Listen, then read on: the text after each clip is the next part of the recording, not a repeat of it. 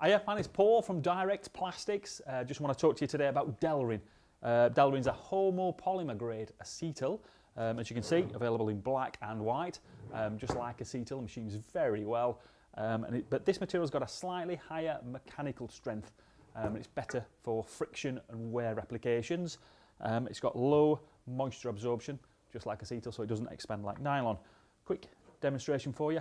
That's 12 millimeter diameter rod. What I'll do, I'll just put a vernier on there. Now this is 45 diameter coming out at 45.4 for you.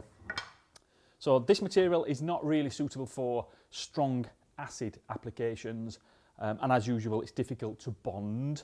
Um, it's got a slightly smaller size range than acetal. Um, the other thing as well, slight downside, it's 5% more expensive um, and it's really not suitable for food applications in that instance, we'd say use acetal.